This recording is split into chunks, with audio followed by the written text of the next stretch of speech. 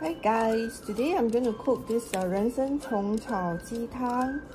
Okay, and these are the herbs on the packet.